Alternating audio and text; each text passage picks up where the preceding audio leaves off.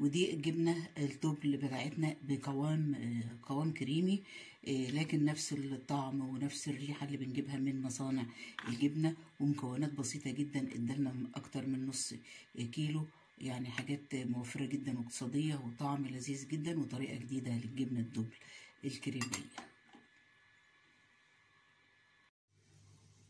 السلام عليكم. أهلا بكم آه الفيديو اللي هعمله معاكم دلوقتي هو اسرع آه طريقة لعمل الجبنة آه الدبل بدون آه منفعة وبخطوات بسيطة جدا وبناكلها في نفس اليوم.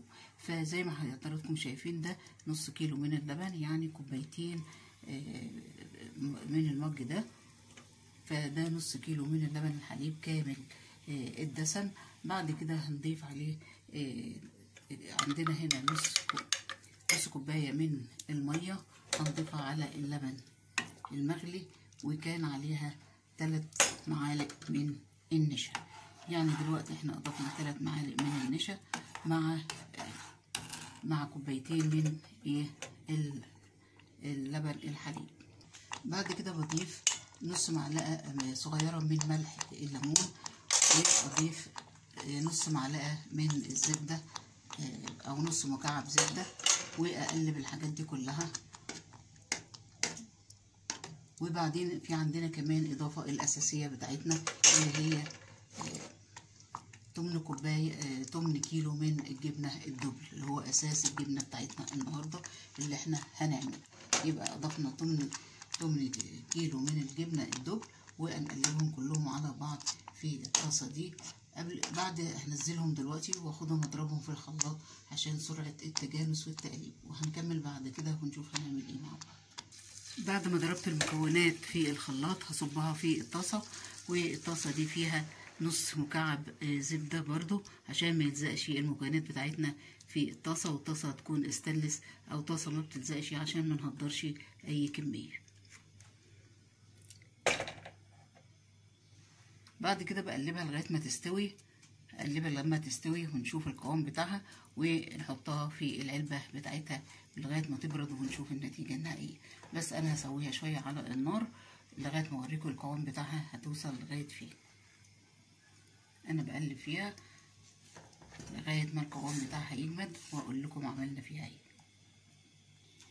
وبعد ما ضفنا النشا وأضفنا الملح الليمون وربع أو طبع تمن كيلو جبنة الدبل وضربناهم في الخلاط وأضفناهم على اللبن. دلوقتي حطينا كمان إيه على الخليط شايفين ناعم متجانس إزاي؟ أضفت معلقتين من نشا البطاطس اللي موجود في العلب وهوريه لحضراتكم. بس هي دي طريقة طبعا إيه يعني هي طريقة بتبقى سريعة لكن كان ممكن نستبدل بقى نشا البطاطس ببط... يعني ثمرة بطاطس متوسطة ونضرب كل ده الخليط في الخلاط. أنا أضفت المرة دي يعني اللي مش عايز يحط بطاطساية يحط إيه معلقتين نشا من البطاطس غير النشا اللي حطيناه في الأول. وده شكل منظر علبة النشا بتاعة البطاطس بس تقريبا يعني هي بتبقى غالية فيها أربع أو خمس معالق يعني بتتعدى الخمسة وعشرين جنيه أو تلاتين جنيه. فعشان كده بنقول إن هي إيه ممكن أكتر كمان. عشان كده بنقول إن هي تبقى إيه مش اقتصادية شوية. فلو حطينا ثمرة بطاطس متوسطة بتكون مسلوقة ونضربها مع الخليط بتكون أحسن. فأنا دلوقتي هسويه شوية خمس دقايق كده على النار الخليط ده وأرجع إيه أصبه في أحطه في في البولة دي وأسيبه لما بعد كده يبرد وأوريكم إيه النتيجة. بتاعة الجبنة الدبل وطعمها مش هيختلف ابدا عن الجبنة اللي إحنا بنعملها في المنفعه وبنقعد يعني نصفيها ونعملها لكن دي إيه عملية سريعة وبتدينا نتيجة يعني كمية كتيرة وطريقه أسرع. يعني ممكن تعمليها عربيات وتصبح تعملي منها سندوتشات الصبح تعمليها حتى الصبح بدري وهتلحقي برضه تعملي منها سندوتشات.